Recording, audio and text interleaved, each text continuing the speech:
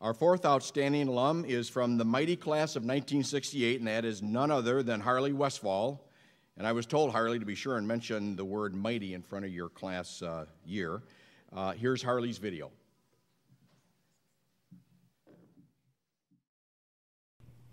Adrian Steel Board Chairman and Adrian High School Class of 1968, Harley Westfall, is being honored for his accomplishments in business and industry. After attending Princeton University and then graduating from Colorado State University, Westfall taught American history and coached football at Wheat Ridge High in Colorado. In 1976, he came home to work at Adrian Steel beside his father in the family steel distribution business that Robert had started in 1953. Upon the death of his father in 1981, Harley became president of the company and remained in that role for 25 years. Harley had been an outstanding athlete throughout his high school and college years, but business presented new challenges. In a Forbes magazine article, he is quoted as saying, If you make a mistake coaching, maybe you lose a first down, maybe a touchdown. But if I make a real bonehead decision in business, there are a lot of people who depend on me for their livelihood and that of their families. It weighs on me. Adrian Steel is a company that makes and installs shelves, drawers, and ladder racks in commercial vans. His strategic decision to create subsidiaries, expand the distribution network, add to the product line, and modernize the manufacturing process led to Ultra success.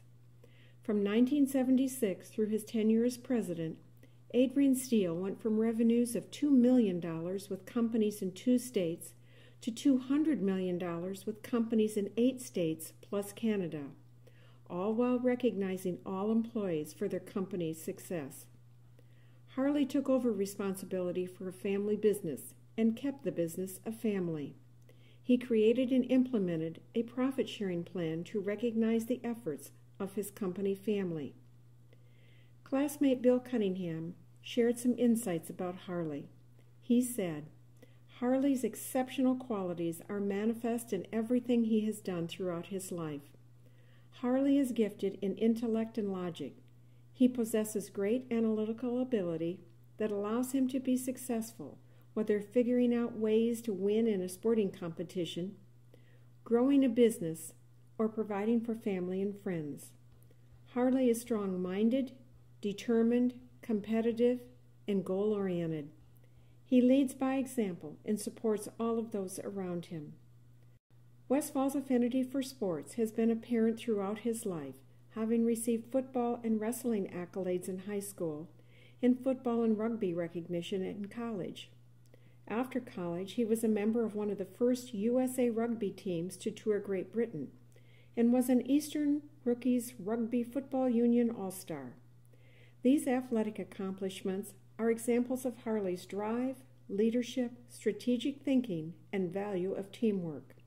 Harley resides with his wife Teresa Teague Westfall in Windsor, Colorado. His love for athletics remains current as he serves as assistant coach to his son Scott, who is head coach for the eighth grade football team at Boltz Middle School in Fort Collins, Colorado.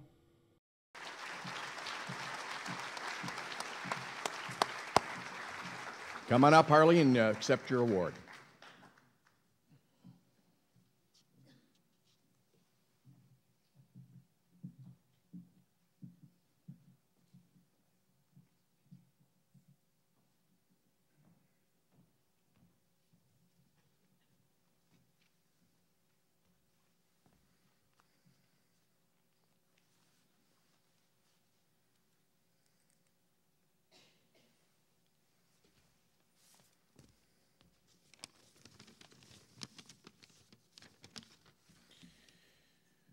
First of all, I'd like to thank a couple of my classmates uh, who nominated, nominated me for uh, this award Susie Rink Arbaugh and Bill Cunningham. I'm honored to receive this award. Truth be known, however, I suspect that Susie and Bill had had a few drinks before they nominated me. I have fond memories of Adrian High School both when I attended uh, and when our son Scott uh, went to Adrian High School some 30 years later. After I graduated from Colorado State University, um, my dad, he asked me to come back and work at Adrian Steel Company. Uh, at that time, I said, uh, thanks for the offer, Dad, but uh, you know, I really want to be the next Bo Schembechler. So as things turned out, I, I got a job at Wheat Ridge High School in Denver, Colorado, uh, teaching and coaching football. After each school year, uh, my dad would ask me again, you know, ready to come back? No, still working on this uh, Schembechler thing, Dad. Well, after, uh, after four years, uh, my dad's health started to slip a little bit. So that time, when he asked me, I said, Yeah, I'll, I'll come back to Adrian and I'll, and I'll give it two years. And uh, that was 36 years ago. A lot of people have asked me about the transition from coaching football to working at Adrian Steel Company. Uh, my answer has always been the same. Uh, I never stopped coaching. The team just got a little bigger. Uh, there was one primary difference. This was mentioned in the video. Uh, in coaching, if I made a mistake, you know, it might cost the team a first down, a touchdown, or worst case scenario, the football game. But at Adrian Steel Company, if, if I made a mistake, uh, a lot of my teammates uh, whose livelihood depended upon uh, my decision making, uh, their livelihoods were at stake. And that, that does have a tendency to, to wear on a person. And I admit there were probably several uh, nights that I you know, stayed up thinking about that. Um, when I was uh, uh, when I was going through uh, Adrian High School, um, I was influenced by uh, teachers and uh, coaches. Some of the philosophies that I had both in coaching and at Adrian Steel uh, were influenced by, by some of these folks Of course, I include my parents, uh, Bob and Susie Westfall, as part of that group. Treat others the way you would like to be treated. I think this is critical to the success of any team or any organization. I know it's something that we try and practice at Adrian Steel Company. Can you imagine how different our team of legislators would be if Congress adhered to this notion of treating others the way you would like to be treated. I think we'd be a heck of a lot farther ahead. Accountability and holding yourself to a higher standard than those around you. There were two teachers at Adrian High School that they were very demanding. They were fair, they were demanding, though. Um, they would accept nothing less than your best effort, and they would accept no excuses. Uh, Miss Ruth Sherman was a English composition teacher of mine, and Mr. Joe Pullen in biology. Um, they held you accountable. At Adrian Steel Company, um, our compensation to our employees is based on a couple of things the amount of responsibility that that person has and the accountability that is demonstrated to achieve their goals.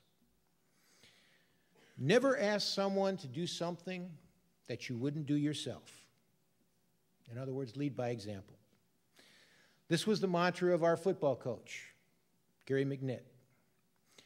As one of the senior captains uh, in football, Coach McNitt, he expected me to attend every summer preseason workout. When the regular season started, I was expected to be one of the first people on the field, the practice field, and one of the last persons to leave the practice field. We always ran wind sprints at the end of practice. It was expected that I would be toward the head of the pack. uh, for each sprint. At Adrian Steel Company, in years past, there were times when the company got extremely busy. As a result of that, um, our shop ended up working a lot of overtime. Uh, there were stretches that, uh, when I remember our shop people were working 10 hours a day, Monday through Friday, plus they were working some Saturdays, eight hours a day. Myself and other office employees would sometimes work a Saturday out in the shop uh, to try and give our workers, either give them that Saturday off, or if nothing else, at least to be working side by side with them. Many of the office workers had started out working in the shop, had started out working production. Through promotion from within, uh, they, they accepted positions down in the office. Because of their prior experience, they were very successful in, in, in filling in on these Saturdays. They were very effective. As for me, however, the joke around the shop was that I never made rate. Didn't matter whether I was working on a punch press or a brake press or a spot welder, never made rate. Try as hard as I could, never made rate. As a matter of fact, they referred to me as Mr. Bad Wrench. I would like to thank all of my teammates at Adrian Steel Company. Uh, there are a few of those folks here tonight. Um, we are the A team. I would like to thank you, members of the A team, uh, for your hard work, your dedication, and your perseverance over these many years. For without their loyalty and without their effort, I would not be standing here tonight. I would like to thank the foundation and go Maples.